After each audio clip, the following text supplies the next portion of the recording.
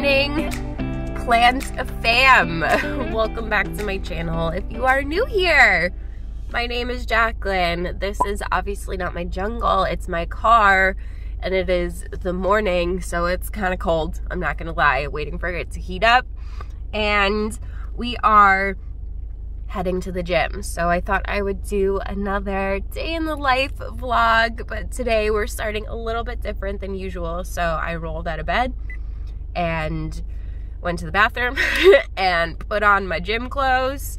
And now we're sitting in the car waiting for it to warm up so that we can head to the gym. And I've been just like trying to be more consistent with going at least three, four times a week. It's been a struggle. I'm not gonna lie. I just like haven't had a lot of energy. So I'm trying. I'm trying because going to the gym actually helps me sleep better and then I have more energy. So not going to the gym actually makes me more tired, which doesn't seem like it makes sense. But that's not the point of this video. The point of this video is we are going to do that and then we're gonna come home and do some watering. I have to water everything in my cabinet.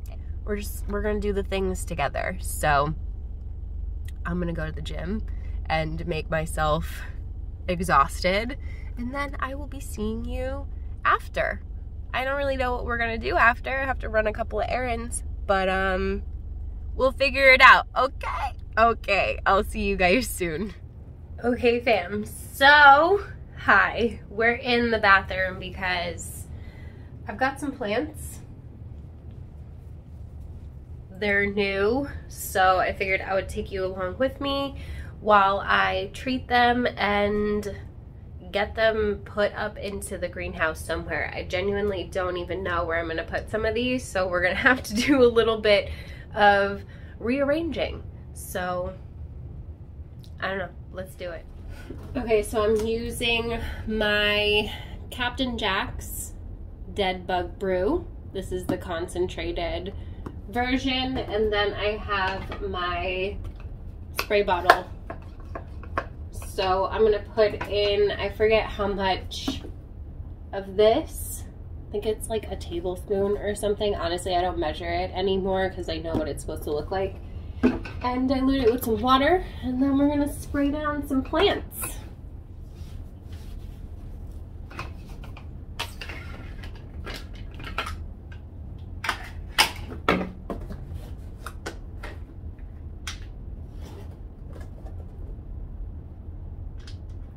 So this stuff is non-toxic, but you still don't want to let it sit on your skin and you're still going to want to give it some ventilation and don't allow your kids or your pets around it while it's still wet because it's non-toxic but you still don't want them to eat it because it is a type of bacteria and it can technically make you sick. So there is that.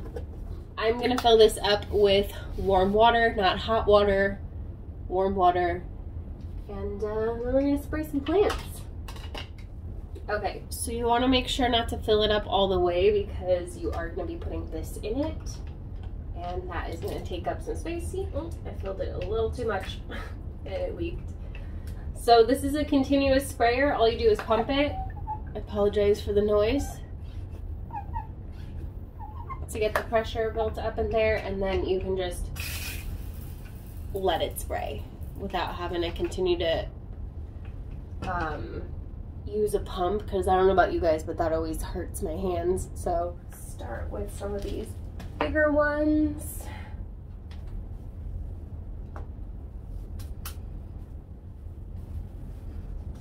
All right, I got my plants and I'm gonna start with this philodendron Dean McDowell from Jax's Jungle. You guys would have just watched me unbox this recently. The soil is really dry. Might be able to pull it out a little. Let's check out the roots. Ooh, yes. Those are good roots. You see them? All right, good stuff, good stuff. We are just gonna need to like repot it because the pot got a little bit squished, but I'm not worried about that right now. I'm gonna spray these leaves down first.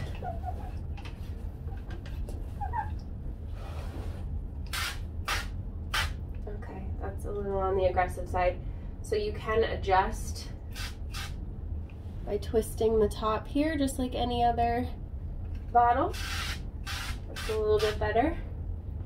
I'm gonna get all the tops and bottoms of the leaves, or the fronts and backs rather.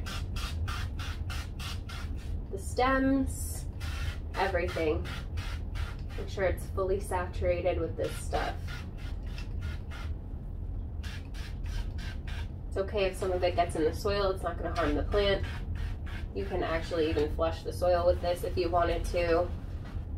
It's not really necessary for most pests, but you totally can.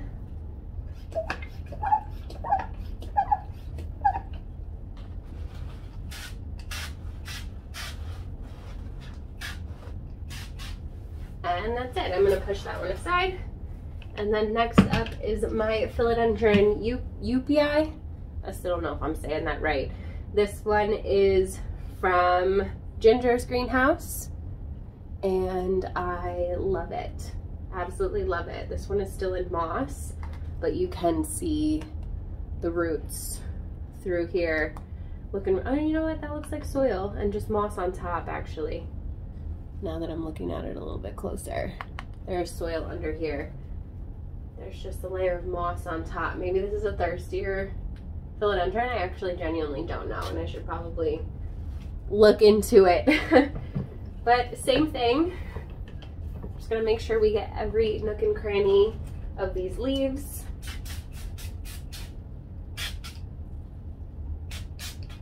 It's okay if you touch the stuff, just make sure you wash your hands when you're done.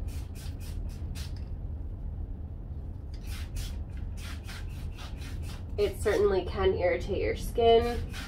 I have sensitive skin though, and I um, find that it's fine as long as I wash it off thoroughly when I'm done. So same thing here, fronts and backs of all the leaves, even these little baby leaves. Bugs can hide anywhere. And I'm spraying the stems and even just the top of the moss a little bit. So that is that one. Put that aside. Next, I have my gorgeous philodendron mexicanum, also from Jax's Jungle. It is unfurling a new leaf. This stuff is totally safe for your delicate plants and baby leaves. I promise you I've tested it on all of the plants and I have not had any issues do you have like a full video of me doing this to all my plants a while back. If you're interested, I can leave it linked for you. Um, because that is when I experimented with like every plant. I've sprayed this on every plant in my collection. So if there is a specific plant you're curious about, um, you can check out that video. I might have it in there and then you can see for yourself that the plant was fine. So the last plant I have here from Jax's Jungle is the Hoya Polyneura Roger. I don't know, but it's really cute. I do need to repot this one as well. It's in cocoa, so it's hard for me to get it out, but you can see some of those roots looking good in there. Okay, definitely need to repot that soon though. Same thing, just gonna spray these kind of plants it's a little bit easier because the leaves are smaller.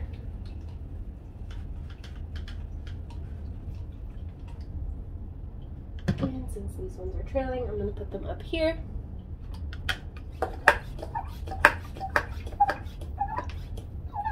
This is such a terrible noise. Okay, the last one is this Alocasia heterophylla um, also known as Dragon Breath. And I got this one at the Plant Ward up in Worcester, Massachusetts. It was on sale for 50% off of $55. So you guys would have seen me pick that up in my most recent plant shopping video.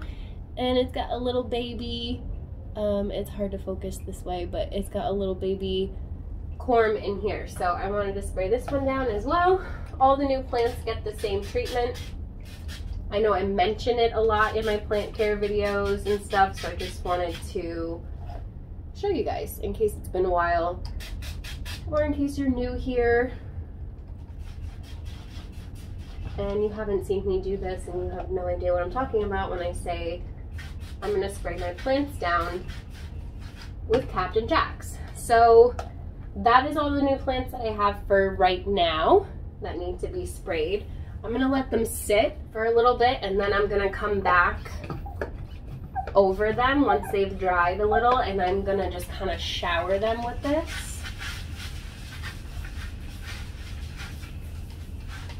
Like that. And I'm gonna do that a couple of times because I'm extra. this is what I do when I have thrips or when I have another pest. Um, I don't normally go too crazy for newer plants, but I'm being very, very cautious these days because we have finally eradicated the spider mites and majority of the mealybugs from the space, so I don't want to risk anything new popping up. So there's that. Okay, so I hope that helped you understand what I mean when I say I'm spraying my plants down with Captain Jack's. And um, I'm gonna let them sit, like I said, and now I'm just gonna be really careful to make sure that my cat doesn't come in here. So I'm gonna keep the bathroom door closed, but I'm gonna keep the fan on in here to try and help circulate the air a little bit. So, gonna let those sit and then we need to go and water my Hoyas. So let's go do Okay, so here's my Hoya cabinet. I am still not finished repotting everything, so this bottom shelf is a hot mess. And a couple of plants over here are still not looking great, but that's not the point. The point is they need to be watered. And I have been trying out this new product. It's called Fish Shit. and it's supposed to do all of these like really cool things like help your plants grow and help with the variegation and yada yada. It's literally like aquarium water, it feels like. It's composted fish manure. So I've been trying it on my plants. I've watered everything in the greenhouse with it, so I figured I would water some of my Hoyas with it today as well. So I already have it in this watering can, and I'm gonna water a bunch of plants in here with that. And then I do have like my little squirty bottle for some of the ones in the back that are harder to reach. So let's do that.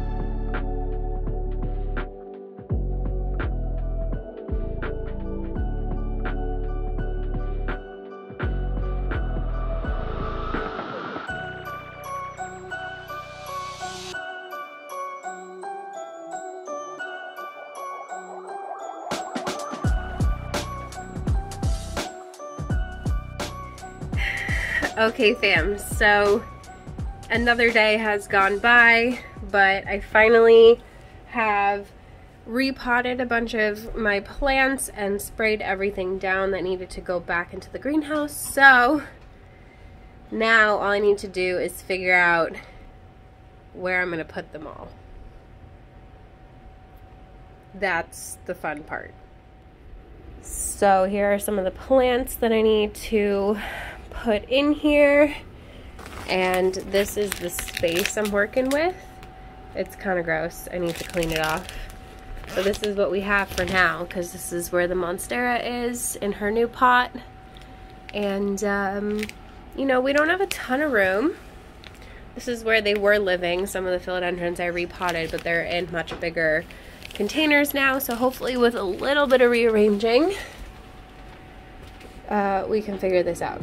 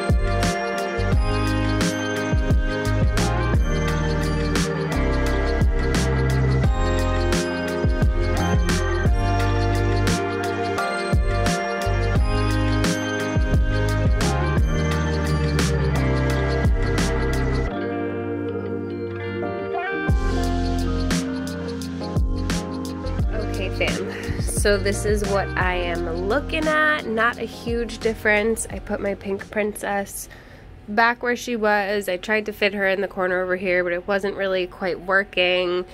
I threw my Jungle Boogie in over here. My Dean McDowell, I don't know if it's going to be happy here with all this bright light, but I guess we're going to find out because I don't have anything to put it on the floor with right now. I need to get like either a pot or a tray or something and then I'll probably move it. And I've got my bicolor hanging out over here as well. Not an ideal setup, but this is the best I could do for now. So that is my, um, that's my story.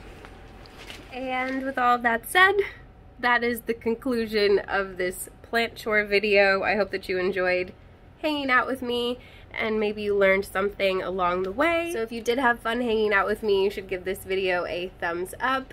Don't forget to subscribe.